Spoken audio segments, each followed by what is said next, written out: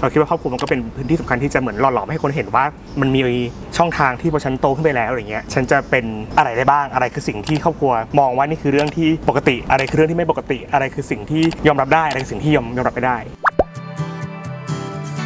การยอมรับจากตัวตนเขาเองเนาะจริงแล้วมันก็มีหลาย ๆ เคส เป็นกลุ่ม LGBTQIA+ ที่พอโตขึ้นมาแล้วอะไรเงี้ยก็บางทีก็มีมีประเด็นเรื่องว่ามันใช้เวลาทั้งชีวิตเหมือนกันในการต้องมาอันเลิร์นใช้คำอังกฤษหรือว่ามาแบบว่า ถอนสิ่งที่เราถูกปลูกฝังมา ว่าอะไรคือความถูกต้องความไม่ถูกต้องอะไรคือสิ่งที่ถูกขนบผิดขนบก็บอกว่าครอบครัวในในที่เนี้ยก็ทำหน้าที่เหมือนเป็นแบบว่า พื้นที่ที่ทำให้คนคนหนึ่งเนี่ยสามารถสำรวจ สามารถเรียนรู้สามารถค่อยๆ สร้างสำนึกความเป็นตัวตน สร้าง อัตลักษณ์ของตัวเองขึ้นมาได้ประมาณนั้นฮะแล้วอาจารย์มองว่าปัจจุบันมันมีชุดความคิดอะไร ที่ทำให้อืมครอบครัวยังติดกรอบทางเพศแบบเดิม มันจริงๆมันก็พูดยากเนอะเพราะว่าจริงๆแล้วเรามองว่าแต่ละครอบครัวก็คงมีมีชุดความคิดคนละแบบใช่ไหมฮะจริงๆครอบครัวมันก็มีเหมือนในในสังคมไทยมันก็มีครอบครัวที่หลากหลาย ขึ้นอยู่ว่าครอบครัวมาจากแบ็กกราวแบบไหนไม่ว่าเป็นแบ็กกราวทางสังคมทางศาสนาทางวัฒนธรรมหลายๆอย่างใช่ไหมฮะแต่เราจะพยายามตอบคำถามโดย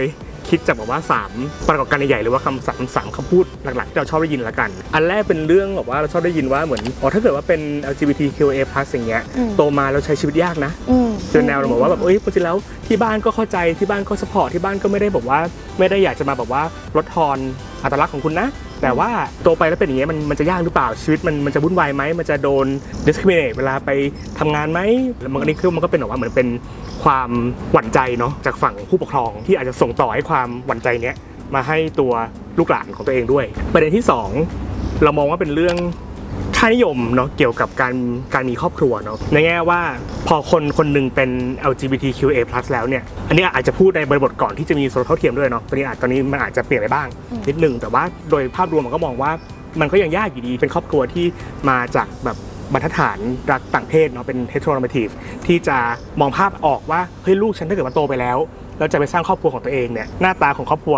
ของลูกฉันคนเนี้ยจะเป็นยังไงใช่ไหมมันจะบอกว่าเอ๊ะจะมีคู่ครองแบบไหนอืมแล้วเขาจะอยู่ในบ้านแบบไหนจะมีการแชร์ทรัพย์สินกับคู่ครองเขายังไงอืมมีกฎหมายที่มารองรับไหมอะไรก็ตามนู่นนนนี่ใช่ไหมฮะก็เลยมองว่าอันนี่ก็เป็นอีกเหมือนเป็นอีกหนึ่งอีกหนึ่งกรอบที่ครอบครัวอาจจะยังมองไม่เห็นเนาะว่ามันว่ามันจะไปไงต่อ มันอาจจะไม่ใช่การ กดทับในแง่เหมือนแบบว่าแบบฉันไม่ให้เธอเป็นเพศนี้นี่นี่เพราะมันผิดแต่มันเป็นความแบบว่าความไม่รู้จากหลาย ๆ ฝ่ายเนาะประเด็นที่สามเนาะเป็นเหมือนเป็นอีกปรากฏการณ์หนึ่งที่อาจจะเหมือนฟังดูแล้วมันอาจจะดูแบบตรงตรงข้ามกับไอ้สองข้อแรกนิดหนึ่งคือการที่สังคมในปัจจุบันเนี่ยเริ่มมีการแบบว่ามีมีการยอมรับความต่างๆได้มากขึ้นใช่ไหมครับเพราะเราเห็นเคสที่ผู้ปกครองแบบว่าลุกขึ้นมาแบบมีความภาคภูมิใจว่าให้ลูกฉันเป็น LGBT ถ่ายคลิปลง TikTok ถ่ายคลิปลง Facebook อะไรก็ตามอะไรเงี้ยเราก็มองว่าเออมันก็มันก็เป็นอะไรที่ ที่มุมหนึ่งก็ก็ดีแต่ทางเดียวกันเราก็มองว่า มันก็อาจจะนำไปสู่การไปตีกรอบใหม่หรือเปล่า ว่าการโตมาเป็น LGBT เป็น LGBTQA+ เนี่ยต้องเป็นยังไงอืมใช่ไหมฮะอย่างสมมติคิดภาพว่าสมมติว่าเราน่ะเป็นเราอย่างเงี้ยอืมแล้วแบบอ๋อฉันไม่ได้อยากตลกแต่ว่าเออแต่ว่าบทบทบาทที่ที่ที่มันมีให้เราตอนเนี้ยที่สังคมจะยอมรับอะคือบทบาทของการเอาว่าแบบนู่นนั่นนี่อะไรอย่างเงี้ยเราก็มองว่าเออมันก็พูดยากว่าไอ้ส่วนสิ่งนี้มันมันมันเป็นการยอมรับแหละ แต่มันยอมรับมากแค่ไหนแล้วมันจะเกิดผลอะไรตามมาหรือเปล่า แล้วมันแล้วมันจะทำไงให้มันยอมรับโดยยังเปิดช่องให้คนคนหนึ่งยังสามารถสำรวจอัตลักษณ์ของตัวเอง สามารถสร้างตัวตนของตัวเองเปลี่ยนไปเรื่อยๆได้อย่างเงี้ยฮะพอพอเรามาพูดกันภายใต้หัวข้อว่าครอบครัวจะจะ support เนาะลูกที่เป็น LGBTQA+ ได้มากขึ้นยังไงอะไรเงี้ยคำตอบมันอาจจะไม่ได้อยู่อยู่แค่ในครอบครัวใช่ไหมแต่มันอยู่ในสิ่งรอบรอบข้างครอบครัวด้วยเพราะว่าครอบครัวเองก็อยู่ก็อยู่ในสังคม ผู้ปกครองเองก็เติบโตขึ้นมาท่ามกลางค่านิยมต่างๆใช่ไหมฮะแล้วเรามองว่าถ้ามันต้องแก้อะไรแน่นอนว่ามันแก้ที่ครอบครัว ก็มีส่วนอืมแต่ว่าสังคมข้างนอกการแก้กฎหมาย การ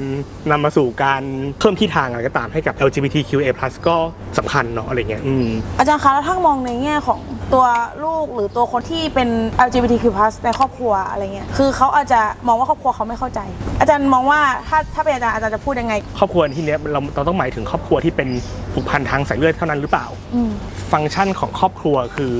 พื้นที่ปลอดภัยบางประการอย่างเงี้ยแต่ถ้าเกิดว่าครอบครัว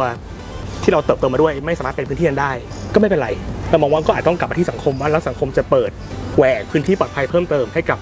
ชาวคน LGBTQ+ ที่อาจจะเข้าไม่ถึงพื้นที่นี้ที่บ้านได้ยังไงบ้างอะไรเงี้ยท้ายที่สุดแล้วเนี่ยไอ้สิ่งที่มันยังติดอยู่กับกรอบอะไรก็ตาม มันก็คงหนีไม่พ้นเรื่องการที่ครอบครัวเองเนี่ยไม่สามารถมองเห็นลูกของตัวเอง มองมองเห็นคนในครอบครัวเนี่ยอย่างที่เขาเป็นจริงๆเนาะเห็นในความวุ่นวาย ความซับซ้อนของความเป็นคนคนหนึ่งเนาะมันอาจจะมากกว่าแค่อัตลักษณ์ อาจจะมากกว่าเพศอาจจะมากกว่าขนบโตมาเราเราเข้าใจว่าความเป็น